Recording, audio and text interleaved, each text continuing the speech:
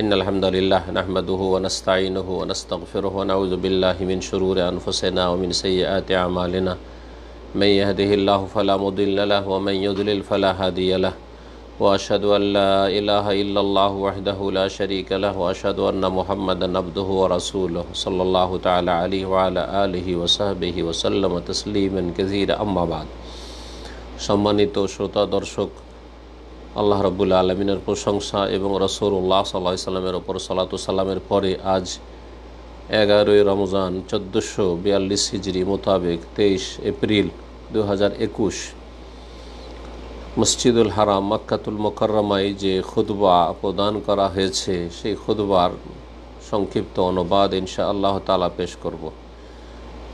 খুদবা দিয়েছেন সম্মানিত শেখ ফয়সাল বিন জামিল গাজাবি হাফেজাহুল্লাহ তালা খুদবার বিষয়বস্তু হচ্ছে সিয়ামে দিনের সরলতার বহিঃপ্রকাশ। সিয়াম যে রোজা, এতে দিন ইসলাম যে সহজ, সরল, এর বহিঃপ্রকাশ ঘটেছে। আল্লাহ রাবুল্লা আলমের প্রশংসা এবং সালাত সালামের পরে সম্মানিত খতিব বলছেন যে রমজান মাসের সিয়ামের যে বিধিবিধান রয়েছে, তাতে যে বিষয়গুলি সুস্পষ্ট হয়ে উঠেছে এবং যেসব মহাপ্রজ্ঞা বা হেকমত এই সিয়ামে নিহিত রয়েছে, তার অন্যতম হচ্ছে যে দিন ইসলাম সরল সহজ। সিয়ামের যেসব বিধিবিধান রয়েছে, সেগুলি অত্যন্ত সরল, সহজ। আর এই সরল, সহজ হওয়ার যে বিষয়টি রয়েছে শরীয়তে, সেটির ওপর প্রতিষ্ঠিত হচ্ছে দিন ইসলাম। যেমন অন্য অন্য দিনের যে ফরজ অজেবগুলি রয়েছে, সেগুলির ক্ষেত্রেও একে, একই কথা প্রযোজ্য। দিনের প্রতিটি বিধিবিধানের মাধ্যমে দিন যে সহজ, সরল কোনো জটিলতা দিনে নেই, এটা সুস্পষ্ট হয়ে উঠেছে। তার সাথে সাথে যে বিষয়টি আরও সুস্পষ্ট হয়ে উঠেছে, তা হচ্ছে মহান প্রতিপালকের গোলামের বাস্তবায়ন। তার সাথে সাথে ইসলামী শরিয়ার যে মশালেহ রয়েছে, অর্থাৎ যে লক্ষ্য উদ্দেশ্য উপকারিতা সেগুলিকে লক্ষ্য রাখা হয়েছে? একজন মুসলিম, যে সত্যিকার মুসলিম, সে তার দিনের বিষয়ে সুস্পষ্ট জ্ঞান রাখবে এবং নিজের পরিচয় সম্পর্কে অনুধাবন করবে। তার জীবনের লক্ষ্য উদ্দেশ্য সম্পর্কে জানবে। একজন মুসলিম আল্লাহ রব্বুল আলমিনের তহিদ প্রতিষ্ঠাকারী, আল্লাহর গোলাম এবং আল্লাহর জন্য নিষ্ঠার সাথে দিন পালন করবে, আল্লাহর সামনে অনুগত থাকবে এবং আল্লাহ রব্বুল আলম আদেশ নিষেধ মেনে চলবে, আল্লাহর ডাকে সাড়া দেবে এবং আল্লাহর বিধানের ওপর প্রতিষ্ঠিত থাকবে যেইভাবে আল্লাহ রব্বুল আলমী চেয়েছেন। সুতরাং আল্লাহ রব্বুল আলমিনের যে নাজলকৃত বিধান এবং সেই সরল পথ, সেই সরল পথ থেকে বক্র পথে পরিচালিত হবে না। না বাড়াবাড়ি করে আর না তাতে ত্রুটি ঘাটতি করে। যেমন বাড়াবাড়ি থেকে মুক্ত থাকবে তেমনই ত্রুটি ঘাটতি থেকে মুক্ত থাকবে। আর এই যে গুণাবলী আর বৈশিষ্ট্যগুলি রয়েছে, এগুলি প্রত্যেক মুসলিম যে তৌহিদবাদী, যে দিনে ইসলামকে ঠিকভাবে মেনে চলে তার জীবনে সুস্পষ্ট হয়ে ওঠে।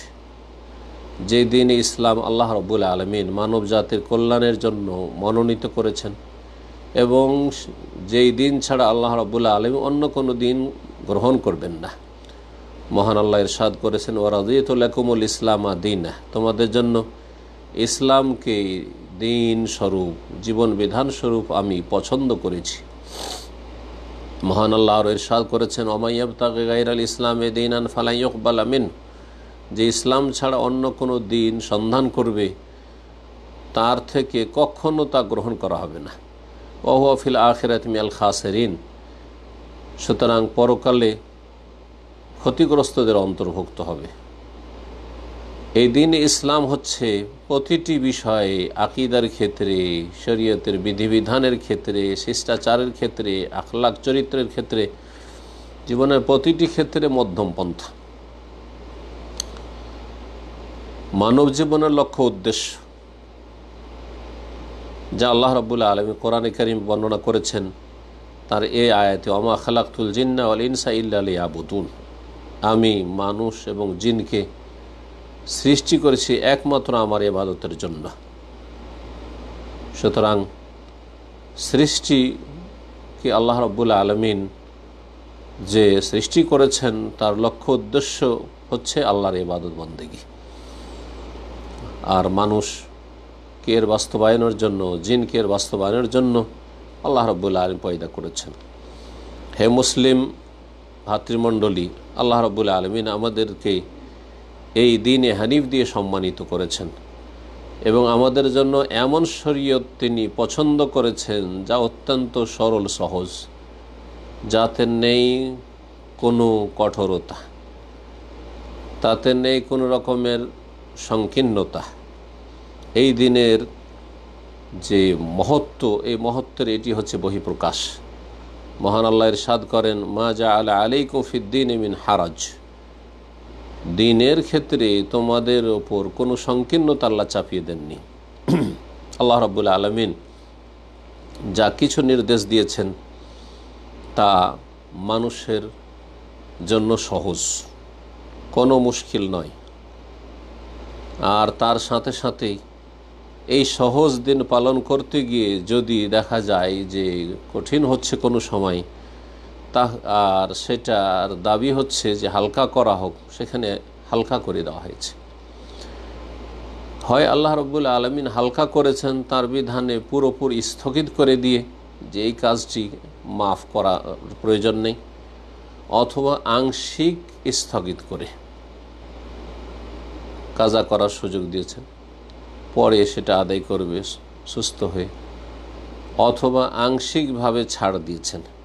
নবী করিম সাল্লাহ আলি সাল্লাম যে দিন সহজ এ বিষয়টি এই হাদিস দ্বারা সুস্পষ্ট করেছেন আহাবুল আদিয়ানি এর আল্লাহ তালা আল হানিফিয়াতিসামহা আহাবুল আদিয়ানি এর আল্লাহ আল হানিফিয়াতুসামহা আল্লাহ রব্বুল আলম কাছে সবচাইতে প্রিয় দিন হচ্ছে একনিষ্ঠতার দিন এবং সহজ সরল দিন। হে আল্লাহর বান্দারা, যদি আমরা জিজ্ঞেস করি যে এই দিন যে সরল সহজ, এটা আমরা কি করে অনুধাবন করব? এর পন্থাটা কি? এর উত্তর হচ্ছে যে সত্যিকার অর্থে যদি আমরা জানতে চাই যে দিন যে সহজ সরল, এটা আমরা ভালো করে বুঝব, তাহলে আমাদের নবী করিম সাল্লা সাল্লামের সিরত জীবনী নিয়ে চর্চা করতে হবে, জীবনী নিয়ে পড়াশোনা করতে হবে। কারণ সবচাইতে উত্তম আদর্শ হচ্ছে নবী করিম সাল্লাহ সাল্লামের আদর্শ। এবং আল্লাহ রাব্বুল আলমিন এমন এক শরীয়তের উপর প্রতিষ্ঠিত রেখেছেন রসুল্লাহ সাল্লাহ আলি সাল্লামকে, যাতে রয়েছে মানব জাতির উপকারিতা এবং সেই দিন হচ্ছে মানব জীবনের সাথে সামঞ্জস্যপূর্ণ আর মানুষের প্রকৃতির অনুকূলে। যেই কাজগুলি করা সম্ভব, এই মর্মে তিনজন ব্যক্তি সম্পর্কে যে হাদিসটি রয়েছে, নবী করিম সাল্লাহ সাল্লামের এবাদত বন্দী সম্পর্কে এই এই তিনজন ব্যক্তি জিজ্ঞাসা করতে এসেছিল।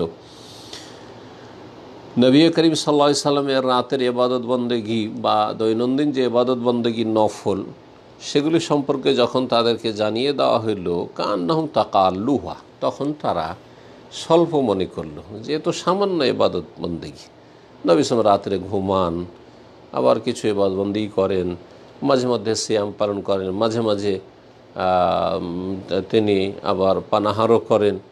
তো এটাকে যেন কম মনে করল, যে সামান্য। তারপরে তার আপোষে বলা বলি শুরু করল যে আইনা নাহানু মিনান নবী সাল্লাহ সাল্লাম কোথায় নবী, কোথায় আমরা?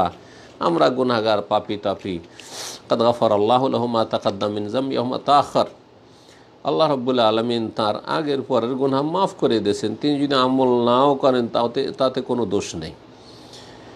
আমাদেরকে আরও বেশি আমল করা লাগবে। তাদের একজন বলল, আম্মা আনা ফাইননি ওসাল্লিল্লাইলা আবাদা। আমি সারা রাত নফল সলাত আদায় করব। দ্বিতীয় ব্যক্তি বলল, আনা আসুমুদ্দাহরা ওয়ালা উফতেরু। আমি সারা জীবন শ্যাম পালন করব। কখনো দিনে পানাহার করব না। তৃতীয় ব্যক্তি বলল যে, নবী সাল্লাহ সাল্লাম বিয়ে শাদি করেছেন, আমি বিয়ে শাদি করব। ওয়ানা আতাজেল উন্নেসা আমি স্ত্রী থেকে একেবারে আলাদা হয়ে যাব। ওয়ালা আতাজাউজু আবাদা জীবনেও আমি বিয়ে শাদি আর করব না। রসুল্লাহ সাল্লাম সেই সময় পৌঁছে গেছেন। এসে শুনতে পেলেন। তারপরে বললেন আন্তুমল্লাদি কলতুম কাজা কাজা তোমরা এই কথাগুলি বললে এক্ষুনি? আমা, শুনে রাখো ভালো করে। ওল্লাহ আল্লাহর কসম করে বলছে ইন্নিল্লা আকশা কুমলিল্লাহ ও আতকা কুমলাহ আমি আল্লাহকে সবচেয়ে বেশি ভয় করি তোমাদের মাঝে, এবং আমি সবচেয়ে বেশি তাকোয়া অর্জন করি। লাকিন্নি আসুম ও উফতের, আর আমি নফল শ্যামও রাখি আর পানাহারও করি। অবসাল্লি ওয়ারকত রাতে নফল সলাত আদায় করি তাহাজুদ পড়ি, আবার ঘুমায়ও। ও আতাজাওয়াজুন্নেসা আর নারীদেরকে বিয়েও করে রেখেছি। ফামান রাগেবান সুন্নাতি ফালাইসা মেননি, সুতরাং কেউ যদি আমার আদর্শ থেকে বিমুখ হয়, তাহলে সে আমার দলভুক্ত নয়। এ হচ্ছে রাসুল্লাহ সাল্লাহ সাল্লামের আদর্শ। যা হচ্ছে মধ্যম পন্থা, তাতে না রয়েছে বাড়াবাড়ি আর না, তাতে রয়েছে ঘাটতি ত্রুটি। এই দিনের সৌন্দর্য নিয়ে যে যত বেশি গভীরভাবে চিন্তা করবে, সে তত বেশি এই দিনকে শক্ত করে ধারণ করবে। এই দিনের তত বেশি শ্রদ্ধাশীল হবে এবং এই দিনের আকিদা এবং বিধিবিধান, শিষ্টাচার, আদব আখলাক যে রয়েছে, তার যথাযথ পাবন্দি করবে। হে আল্লাহর বান্দারা মানুষের বাস্তব জীবনে এমনও মানুষ আছে যারা ইসলামের যে সঠিক ব্যাখ্যা রয়েছে সেটার পরিপন্থী কাজ করে। যেমন নবী করিম সাল্লাহ সাল্লাম জনক ব্যক্তিকে একবার রোদ্রে দাঁড়িয়ে দেখলেন। জিজ্ঞেস করলেন, তার সম্পর্কে যে এই লোকটি রোদ্রে দাঁড়িয়ে আছে কেন? লোকেরা বলল, হাজা আবু ইসরাইল এই লোকটি হচ্ছে আবু ইসরাইল নাজারা আইয়াকুমা ওয়ালা ইয়াকুদ এ মান্যত করেছে চরমপন্থা অবলম্বন করে। সে মান্যত করেছে যে সবসময় দাঁড়িয়ে থাকবে, বসবে না সারা দিন বসবে না। ওয়ালাইয়াস্তা যে লো ছায়া তো যাবে না, রোদরে সবসময় দাঁড়িয়ে থাকবে। ওয়াইয়াসুম আর এই অবস্থায় সে শ্যাম পালন করবে। রোদরে দাঁড়িয়ে থেকে না বসে সে শ্যাম পালন করবে। আর কারোর সাথে কথাও বলবে। আলাইয়াতা কাল্লাম আর কারোর সাথে কথাও বলবে না। নবী করিম সাল্লাহ এই তো চরম বাড়াবাড়ি করেছে। সুতরাং নির্দেশ দিলেন যে সে যেন বসে যায়, ছায়াতে চলে যায়, কথা বলে। আর শ্যাম হ্যাঁ শ্যাম ভঙ্গ করবে না। শ্যাম যে সে পালন করছে, সে শ্যাম পালন করবে। শ্যাম তার পূর্ণ করবে। নবী করিম সাল্লাহ আলী হাসাল্লাম এই লোকটির সারাদিন দাঁড়িয়ে থাকা, কথা না বলা আর রোদরে এইভাবে দাঁড়িয়ে থাকা, ছায়াতে না যাওয়া, এটাকে কোনো সবের কাজ মনে করলেন না যে মান্যত করেছে, সুতরাং এটা পুরা করা উচিত না, মোটেই না। বরং এই মান্যত পুরা করতে নিষেধ করলেন। এর মাধ্যমে এবাদত বন্দী আল্লাহর হয় না। আসল যে এবাদত তা হচ্ছে শ্যাম পালন করা, সেটা নবী সাল্লাম বললেন যে সেটা করো, ঠিক আছে। শ্যাম ছাড়িও না। কারণ শ্যাম হচ্ছে নবী করিম সাল্লাহ আলী সাল্লামের আদর্শ। এই হাদিস প্রমাণ করে যে মানুষের ব্যক্তি জীবনের আমল অনেক সময় শরীয়তের প্রতিনিধিত্ব করে না। যে ধর্ম বলে পালন করলেই সেটা শরীয়ত হয়ে যাবে এমন কথা নয়। মানুষের অনেক সময় কর্মকাণ্ড এমন হয়ে থাকে যার শরীয়তের সাথে কোনো সম্পর্ক নেই। কতক মানুষ আছে যারা হচ্ছে চরমপন্থী, বাড়াবাড়ি করে থাকে। দিনের ক্ষেত্রে এমন কিছু করে থাকে যা শেষ নবী পিয়া নবী মোহাম্মদ রসুল্লাহ সাল্লাহ আলি সাল্লামের আদর্শ নয়। নবী সাল্লামের আদর্শ বহির্ভূত কাজ করে। বেদাতি কাজে লিপ্ত হয়, কুসংস্কারে লিপ্ত থাকে, যার কোনো ভিত্তি নেই। এবং এমন কিছু নিজের ওপর চাপিয়ে নাই যা আল্লাহ রব্বুল আলমিন তার বিধানে দেননি। এরা এমন শ্রেণির মানুষ যারা আল্লাহ রব্বুল আলমিনের যে সরল পথ সেরাত মুস্তাকিম রয়েছে তা থেকে অপসৃত। এবং এই শ্রেণির লোকের আমল প্রত্যাখ্যাত। নবী করিম সাল্লাহ সাল্লাম বলছে ইন্নাদ্দিন ইউসরু দিন হচ্ছে সহজ।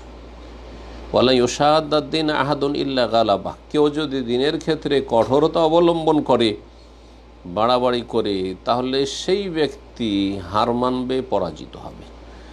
এতে দিনের ক্ষেত্রে কঠোরতা নিষেধ করা হয়েছে। এবং এবাদত বন্দীগীর ক্ষেত্রে এমন কিছু করা যা শরীয়তে আরোপ করা হয়নি, এমন কিছু করতে নিষেধ করা হয়েছে। এর বিপরীত কিছু লোকেরা এমন আছে যারা ঘাটতিতে রয়েছে দিনের বিধিবিধানের ক্ষেত্রে এবং দিনের ক্ষেত্রে অবহেলা করে থাকে। আর তারা এই রকমের বাহানা করে থাকে যে দিন সহজ। দিন সহজ মানে এই নয় যে ফরজ অজবে আপনি ঘাটতি করবেন, ত্রুটি করবেন, অবহেলা করবেন, এমন নয়। যার ফলে এই শ্রেণির লোকেরা অনেক সময় ফরজ কাজ ছেড়ে দিয়ে থাকে, হারামে লিপ্ত হয় এবং বেশ কিছু আল্লাহ রব্বুল আলমিনের যে ফরজকৃত নির্দেশ সেগুলিকে হ্যাঁ কঠোরতা বলে আখ্যায়িত করে থাকে। এবং চরমপন্থা মনে করে থাকে। এর কারণ হচ্ছে তাদের ইমানের দুর্বলতা এবং আল্লাহ ভীরুতার অভাব। সুতরাং শয়তান তাদের এই খারাপ কাজগুলিকে সাজিয়ে সাজিয়ে পেশ করে, যার ফলে এরা ঘাটতির মাধ্যমে আর ইসলামের বিধিবিধান পালনে অবহেলার মাধ্যমে তারা আল্লাহ রাবুল্লাহ সরল পথ থেকে বিচ্যুত হয়। কারণ তারা ইসলামের যে সঠিক সরলতা রয়েছে, যেটি মধ্যম পন্থা, সেটা তারা আসলে উপলব্ধি করার চেষ্টা করে না। কিছু মানুষ এমন রয়েছে, যারা মনে করে তাদের অজ্ঞতার কারণে যে দিনের ক্ষেত্রে কঠোরতা রয়েছে, ধর্মীয় বিষয় কঠোরতা রয়েছে। আর এটি এমন একটি ভ্রান্ত চিন্তা চেতনা যেটি ইসলামের শত্রুরা সবসময় বলে প্রভাকাণ্ডা করে থাকে। যে দিন ইসলামে বড় কঠোরতা রয়েছে এই কঠোরতার কারণে মুসলিম জাতি পিছিয়ে আছে, আর তাদের অগ্রগতিতে বাধাপ্রাপ্ত হচ্ছে। এই ধরনের কথা যুগে যুগে এক শ্রেণির ইসলামের শত্রুরা এসব কথার অপপ্রচার চালিয়ে থাকে। তাদের খণ্ডন আমরা দেখতে পাই এই শ্যামের বিধিবিধানে এবং শ্যামের হেকমত, যা, যার মাধ্যমে তাদের এসব ভ্রান্ত কথার অসারতা সুস্পষ্টে ওঠে এবং আমরা স্পষ্ট জানতে পারি যে দিন হচ্ছে অত্যন্ত সহজ। এবং আল্লাহ রাব্বুল আলমিন এমন কোনো মানুষকে দায়িত্ব দেননি যেটা তাদের জন্য পালন করা কঠিন। বরং যেখানে কঠিন হয়েছে সেখানে আল্লাহ রাব্বুল আলমিন সহজ করে দিয়েছেন। আর আল্লাহ রাব্বুল আলম আজল তো দিন কী করে বা কঠিন হতে পারে? কারণ আল্লাহ রাবুল আলমিন এমন দিন নাজেল করেছেন যেই দিন মানুষের জীবন বাস্তব জীবনের সাথে সামঞ্জস্যপূর্ণ। এবং তাতে রয়েছে মানুষের সার্বিক কল্যাণ। এবং আল্লাহ রব্বরের অত্যন্ত দয়ালু। সুতরাং মুসলিমদের ওপর যে শ্যাম ফরজ করেছেন, যেমন আগের যেসব জাতিরা ছিল তাদের ওপর শ্যাম ফরজ করেছেন। আল্লাহ রব্বুল আলমের শ্যাম এই জন্য ফরজ করেছেন যে তাতে বহুমুখী উপকারিতা রয়েছে, ইহকাল পরকালের কল্যাণ রয়েছে। আল্লাহ রব্বুল আলম হেকমতের একটি দিক হচ্ছে সেয়ামের ক্ষেত্রে যে বিভিন্ন স্তরে আল্লাহ রব্বুল আলমিন এই সেয়ামের বিধিবিধান নাজল করেছেন। তার সর্বশেষ সর্বশেষ স্তর হচ্ছে যে মানুষ যদি অসুস্থ হয়, এমন অসুস্থ যে, যাতে শ্যাম পালন করা কষ্টকর, এই রকমই এমন সফর অবস্থায় থাকে যাতে শ্যাম পালন করা কষ্টকর। সেখানে আল্লাহ রাব্বুল আলমী ছাড় দিয়েছেন যে অসুস্থ অবস্থায় এবং সফর অবস্থায় শ্যাম না রেখে যে কয়দিন শ্যাম ছাড়বে বা ছুটবে, সেই সংখ্যা অন্য সময়ে পূরণ করে নেবে।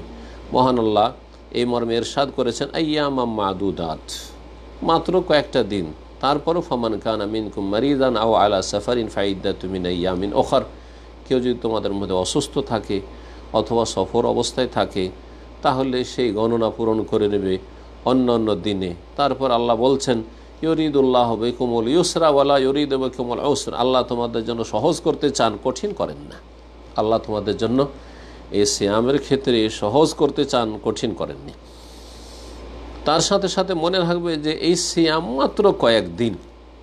সেই দিনগুলি হয় উনত্রিশ না হয় তিরিশ। আর এই এক মাসে কয়েক ঘণ্টা সারাদিন পানাহার থেকে বা যেগুলি শ্যাম ভঙ্গকারী বিষয়, সেগুলি থেকে বিরত থাকতে হচ্ছে। তা হচ্ছে শুভ সাদেক ফজর থেকে শুরু করে সূর্য অস্তমিত হওয়া পর্যন্ত। এতটুকু হচ্ছে শ্যাম প্রতিদিনের। জি হ্যাঁ। আল্লাহ রবুল আলমিন এমন কিছু আমাদের উপর চাপিয়ে দেননি যেটা আমাদের জন্য অসম্ভব পালন করা। জি। কিন্তু কিছু অসৎ লোকেরা রয়েছে যারা আল্লাহর নাজলকৃত শরীয়তের বিধান নিয়ে খেলতামাশা করে এবং তারা খেয়াল খুশি ইসলামের বিধিবিধান নিয়ে থাকে, যেটা তাদের মনোপুত হয় কুপ্রবৃত্তির অনুসরণে। সেটা গ্রহণ করে আর যেটা তাদের মনের উল্টো হয়, সেটাকে পরিত্যাগ করে। এবং এই ক্ষেত্রে তারা শরীয়তের বিধিবিধান মানতে গিয়ে তারা হিল্লা বাহানা করে। জি। এবং মনে রাখবে যে এই রকমের হিল্লা বাহানা করা, এক রকমের শরীয়ত নিয়ে উপহাস করা এবং ইহুদিদের চরিত্র, যারা আল্লাহ রব্বুল আলমিনের হারামকৃত বিষয়গুলিকে হালাল করেছে, বিভিন্ন হিল্লা বাহানা করে এবং তারা কিছু মেনেছে যেটা তাদের মনোপুত হয়েছে, আর কিছু তারা অস্বীকার করেছে। আল্লাহ রব্বুল আলমিন তাদের সম্পর্কে যে তাদের এই বদচরিত্র সে সম্পর্কে এর সাদ করেছেন, আফাতু মেনুনা বেবাদিল কিতাব অতাক ফরুনা বেবাজ তাহলে কি তোমরা আল্লাহর বিধানের কিছু বিশ্বাস করবে আর কিছু অস্বীকার করবে? হামা জাজাউমাইয়া ফালুদ আলিকা মিনকুম ইল্লা খিজুন ফিল হায়াত দুন ওয়মাল কেয়ামত ইরাদ্দুন ইলা আসাদ্দিল আজাব যারা এরকম কাজ করে, খেয়াল খুশি, ইসলামের বিধিবিধানের কিছু মানবে আর কিছু মানবে না, অথচ দুটোই হচ্ছে ফরজ। সুবিধাবাদী হয়ে যেটা ভালো লাগল মানলো, যেটা ভালো লাগল মানলো না ছেড়ে দিল, এইরকম যারা করবে তাদের জন্য দুনিয়াতে রয়েছে লাঞ্ছন, খিজিয়ন ফিল হায়াতের দুনিয়া। ওয়াউমাল কেয়ামাত ইউরাদ্দুন ইলা আসাদ্দিল আজাব আর কেয়ামতের দিনে কঠোর শাস্তির দিকে ঠেলে দেওয়া হবে। সম্মানিত রোজাদার ভাইগণ, এই রমজান মাসের শিয়াম থেকে আরেকটি যে গুরুত্বপূর্ণ বিষয় আমরা জানতে পারি তা হচ্ছে আমাদের আকিদা এবং শরীয়ত, অন্যান্য যে, যেসব জাতিরা রয়েছে, অমুসলিম, তাদের থেকে স্বতন্ত্র। আমাদের আকিদা, সুস্পষ্ট আকিদা, ধর্মীয় বিশ্বাস। আমাদের যে ইসলামী শরিয়ার বিধিবিধান, তা হচ্ছে সুস্পষ্ট দলিল ভিত্তিক যা অন্যদের কাছে নেই, অন্যদের ধর্মকর্ম বিকৃত হয়ে গেছে।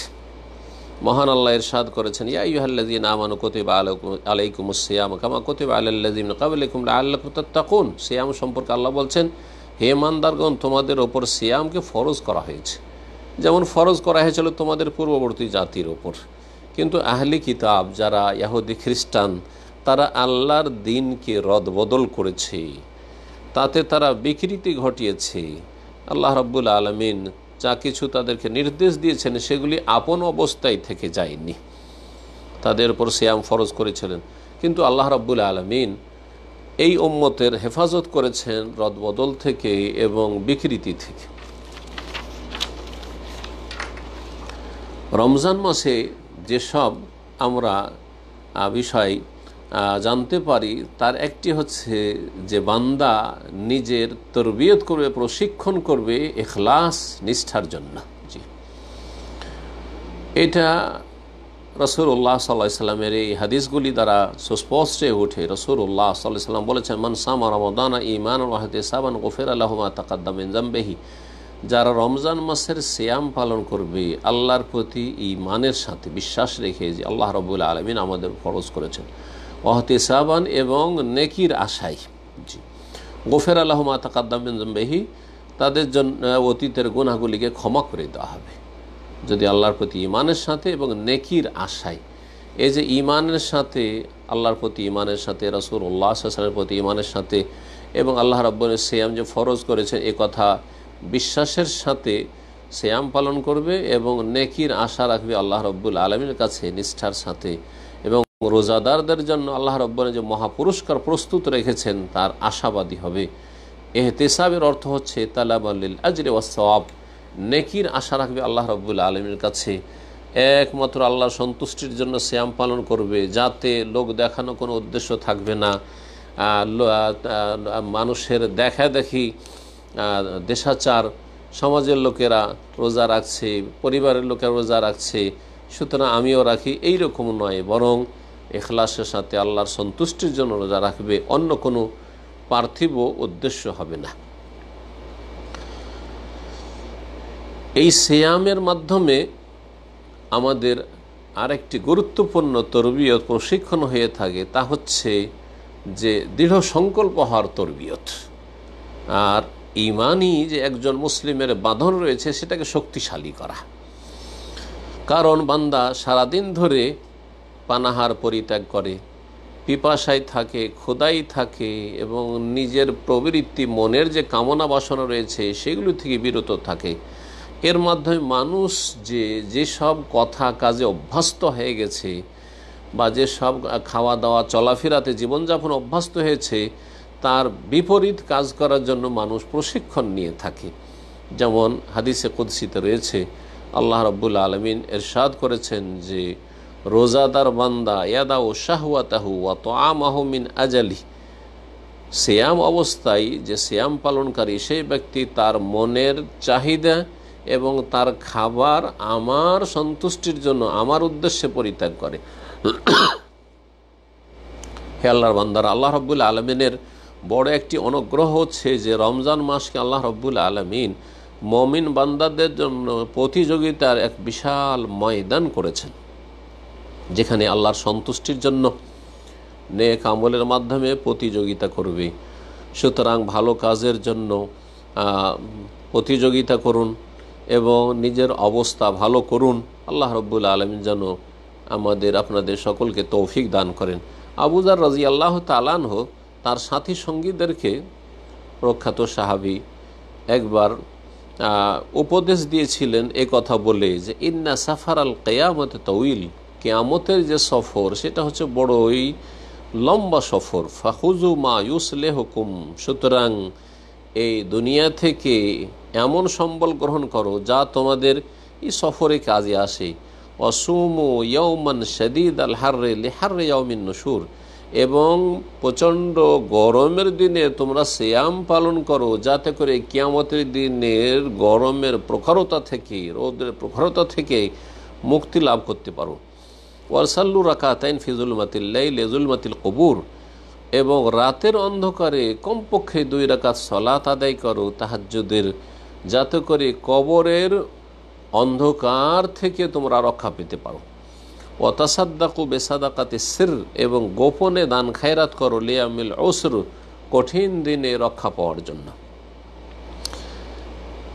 আহনাব বিন কাইসকে যখন বলা হয় যে, ইন্নাকা শেখুন কবির এই আহনাব বিন কাইস রহমতুল্লাহ আলাইকে বলা হয়েছে যে, তার বার্ধক্যে তিনি পৌঁছে গেছিলেন, সেই সময়েও তিনি শ্যাম পালন করতেন। তাকে বলা হলো, তার পরিবারের লোকেরা বলল যে, আপনি তো অত্যন্ত বার্ধক্যে পৌঁছে গেছেন। অসৌম ইউদ এফোকা আর এই অবস্থায় যদি আপনি শ্যাম পালন করেন, তা আরও বেশি দুর্বল হয়ে যাবেন। তখন তিনি উত্তরে বলেছিলেন, ইন্নি ঐদ্য লে সাফারিন তউইলিন আমি লম্বা সফরের জন্য প্রস্তুতি গ্রহণ করছি। অসাবর আলা তো আতিল্লাহ আহওয়ানুমিনা সবরে আলা আজাবিল্লাহ আল্লাহর আজাবের ওপর ধৈর্য ধারণের চাইতে অনেক সহজ হচ্ছে আল্লাহর আনুগত্যের ওপর নেকির কাজে ধৈর্য ধারণ করা।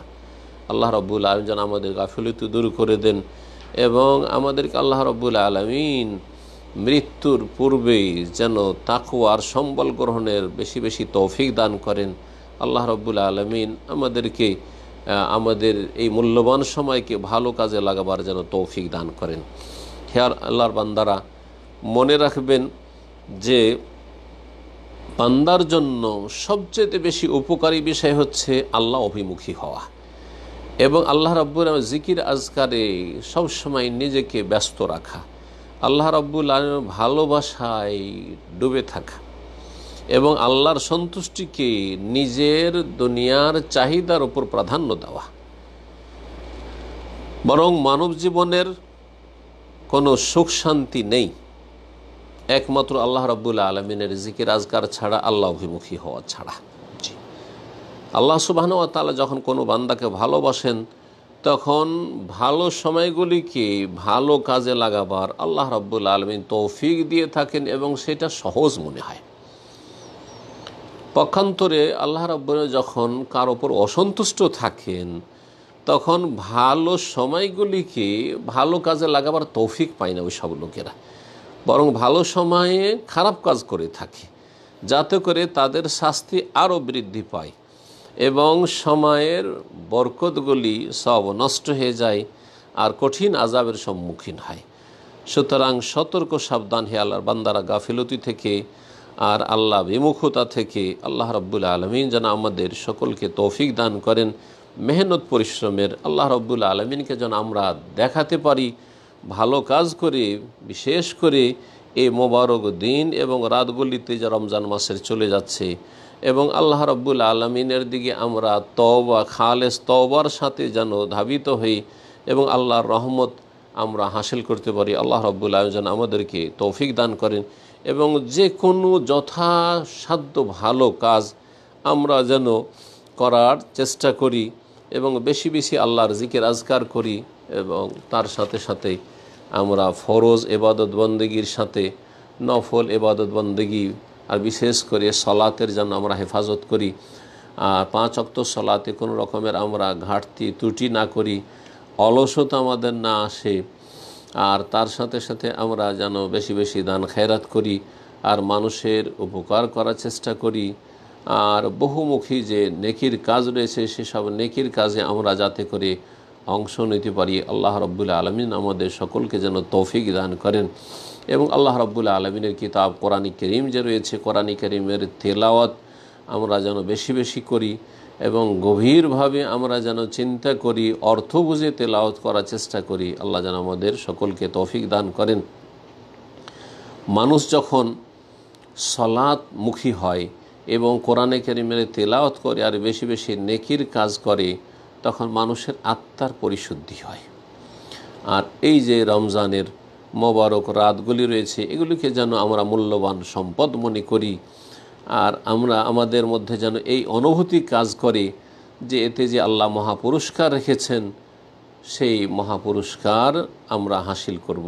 রসুল্লাহ সাল্লাহ সাল্লাম যেমন বলেছেন হাদিসে, মান কামা রমজান ইমান ওয়াহতে সাবান গফির আল্লাহ জাম্বেহি রমজান মাসে আল্লাহর প্রতি ইমানের সাথে আর নেকির আশায় যারা কেয়াম করবে তাহাজ্জুদ পড়বে, তারাই পড়বে, তাদের অতীতের গুনা খাতা মাফ করে দেওয়া হবে। তার সাথে সাথে যারা সমাজের অভাবী রয়েছে, যারা দরিদ্র মিসকিন রয়েছে, তাদের যেমন, যেন আমরা খোঁজ খবর নিই। রমজান মাস হচ্ছে সাদকা খায়রাতের মাস। আল্লাহ যেন আমাদেরকে বেশি বেশি দান খেরাতের তৌফিক দান করেন। ইমাম শাফি রাহিমাহুল্লাহ বলছেন যে, ওহিব্বলির রজলে আজিয়াদাতা বিল জুদ ফি রমাদান। আমি মানুষের জন্য বেশি বেশি দানশীলতা রমজান মাসে পছন্দ করি। কেন? বলছেন, ইখতেদাদ আনবে রসুল্লাহ সাল্লাহ রসুল্লাহ আসলাম অনুসরণ কারণ তিনি রমজান মাসে সবচেয়ে বেশি দানশীল হয়ে যেতেন। আর তারপরে বলছে বলে হাজাতিন নাসে ফিহেলা মশাল এহিম আর মানুষের প্রয়োজনও রমজান মাসে বেশি। কারণ অনেক মানুষ রয়েছে যারা রমজান মাসে শ্যাম পালনের কারণে এবং তারাবি পড়ার কারণে তারা ঠিকভাবে কাজকর্ম করে রুজি রোজগার করার সুযোগ পাই না। তাদেরকে এই রুজি রোজগার করতে বাধ্য না করে তাদেরকে আমরা অবসর করে দিই দান খেরাতের মাধ্যমে। যাতে করে তারা ফ্রি হয়ে রমজান মাসের শ্যাম পালন করতে পারে এবং তারাবির সলাত আদায় করতে পারে। আমরা যথাসাধ্য চেষ্টা করব যে কোনো মানুষের উপকার করার। যে কোনো রকমের উপকারের চেষ্টা করব। এবং সবচেয়ে বড় উপকার হচ্ছে মানুষের কল্যাণের রাস্তা দেখানো এবং তাদেরকে উপদেশ দেওয়া। এই মর্মে আমাদের মনে রাখতে হবে যে যেই ব্যক্তি দিন সম্পর্কে জ্ঞান রাখে না, তাকে আমাদেরকে তালিম দিতে হবে। যেই ব্যক্তি পথভ্রষ্ট হয়ে রয়েছে, তাকে সঠিক পথ দেখাতে হবে। এবং যারা নাফরমান, তাদেরকে উপদেশ দিতে হবে। যারা উদাসীন রয়েছে, তাদেরকে সচেতন করার চেষ্টা করতে হবে। যারা ভুলে রয়েছে, গাফিলতিত রয়েছে, তাদেরকে স্মরণ করাতে হবে। আর মনে রাখবেন যে উপকারের সবচেয়ে বেশি অধিকারী হচ্ছে প্রতিটি মানুষের অধীনস্থ ব্যক্তিরা। সুতরাং হে আল্লাহর বন্দারা, আপনি একজন অভিভাবক হিসাবে আপনার স্ত্রী, আপনার ছেলে মেয়েদের খোঁজ খবর রাখুন এবং তাদের উপকারের চেষ্টা করুন। আপনাদের অধীনে যে সব চাকর নকর রয়েছে, তাদের খোঁজ খবর রাখুন এবং তাদের সাথে সদাচরণ করুন এবং তাদেরকে দিনই দিক নির্দেশনা দান করুন, তাদেরকে ভালো কাজের উপদেশ দেন, অন্যায় কাজে বাধা দেন, নম্রতার সাথে এবং ভালোবাসা আর আদরের সাথে এবং তাদের ওপর মায়া, মমতা করে এবং তাদেরকে ভালো কাজের জন্য উৎসাহিত করুন। এবং এই যে মূল্যবান সময়গুলি চলে যাচ্ছে, সেই সময়গুলি কে ভালো কাজে লাগান এবং অন্যায় কথা কাজ থেকে নিজেকেও বাঁচিয়ে রাখেন এবং নিজের পরিবার, পরিজন যারা রয়েছে, আপনার অধীনে যারা রয়েছে, তাদেরকেও গুনহার রাস্তা থেকে বাঁচিয়ে রাখুন। আল্লাহ রব্বুল আলমিন যেন তৌফিক দান করেন। হে মুসলিমগণ, রমজান মাসের যে স্বচ্ছতা রয়েছে, এই স্বচ্ছতাকে যে ঘোলাটে করে দেয় বা রমজান মাসের এই স্বচ্ছতাকে নষ্ট করে তার একটি গুরুত্বপূর্ণ দিক হচ্ছে মূল্যবান সময়গুলোকে নষ্ট করা। এই রমজান মাসের দিনের এবং রাতের সবগুলি সময় অত্যন্ত মূল্যবান। এই মূল্যবান সময়গুলিকে নষ্ট করা, বিশেষ করে তা যদি নষ্ট করা হয়, গনহার কাজের মাধ্যমে, ফালতু কথা কাজে সময় পার করে অথবা খেল তামাশায় মেতে থেকে এই রকমই জবান দ্বারা কোনো হারাম কথা বলে বা হারাম কিছু শুনে অথবা হারাম দেখে সময়কে গুনহার কাজে লাগিয়ে নষ্ট করা আল্লাহ রব্বুল আলমিনের যেসব নিয়ামত আমাদের কাছে রয়েছে, সেসব নিয়ামত দ্বারা গুনহায় লিপ্ত থাকা, এর মাধ্যমে মানুষের অন্তর ক্ষতিগ্রস্ত হয় এবং অন্তরের অবস্থা খারাপ হয়ে যায়। আল্লাহ রব্বুল আলমিন যেন আমাদেরকে সমস্ত রকমের পাপ থেকে সবসময় বেঁচে থাকার তৌফিক দান করেন, আর বিশেষ করে এই যে মূল্যবান, মোবারক সময়গুলি রমজান মাসের দিনের এবং রাতে রয়েছে, সেই সময়গুলিকে ভালো কাজে লাগাবার যেন তৌফিক দান করেন। হতভাগা ওই সব লোকেরা যাদেরকে আল্লাহ রাবুল্লাহের পক্ষ থেকে ডাক দেওয়া হয়, ইয়া বাগি আল খৈর আকবিল ওয়া ইয়া বাগি আশার আকসের, হে কল্যাণ কামিরা যারা ভালো কাজে লেগে আছো আরও এগিয়ে আসো, অগ্রসর হও আরও এগিয়ে আসো আরও এগিয়ে আসো। ইয়া বা গিয়া সারে আকসের, আর ডাকা হয় ওই সব খারাপ লোকদেরকে, হতভাগা লোকদেরকে। হে মন্দ তলাশকারীরা, হে পাপি লোকেরা এখনও ক্ষান্ত হয়ে যাও, আর কত পাপ করবে পাপের রাস্তা থেকে? ফিরে আসো নাকি রাস্তায়। হে আল্লাহর বান্দা বিশেষ করে যারা এখনও পাপের রাস্তায় অবিচল হয়ে রয়েছেন আর নিজের কুপ্রবৃত্তির অনুসরণে ডুবে রয়েছেন, আল্লাহ রব্বুল আলম নাফারমানি করতে আছেন নির্জনে এবং নিজের যে মূল্যবান সময় রয়েছে, এই সময়গুলিকে নষ্ট করে দিচ্ছেন এখনও চিন্তার সময় রয়েছে, চিন্তা করুন। এবং এইসব গুমরাহি থেকে এবং ভুল পথ থেকে ফিরে আসুন। হে সীমালঙ্ঘনকারীরা যারা সীমালঙ্ঘন করেছেন এখনও সময় রয়েছে সীমালঙ্ঘন বাদ দেন। ফিরে আসুন আল্লাহ রব্বুল আলমিনের দিকে। আল্লাহ রব্বুল আলমিন যেন আমাদের সকলকে তাঁর দিকে ফিরে আসার তফিক দান করেন এবং তার সন্তুষ্টি আমাদেরকে দান করেন। এখনও সময় রয়েছে নিজের সংশোধন করার তবার ঘোষণা করার আল্লাহ রব্বুল আলমিন আমাদেরকে যেন খালেস তবার তৌফিক দান করেন। মৃত্যুর আগে আল্লাহ রব্বুল আলমিন যেন আমাদেরকে, আল্লাহ রব্বুল আলমিন সবসময় ভালো অবস্থায় থাকার জন্য তৌফিক দান করেন এবং সর্বশেষ অবস্থাকে আল্লাহ যেন আমাদের আরও বেশি ভালো করেন। আল্লাহ রব্বুল আলমিন যেন আমাদের খাতেমা সমাপ্তি যেন কল্যাণের করেন।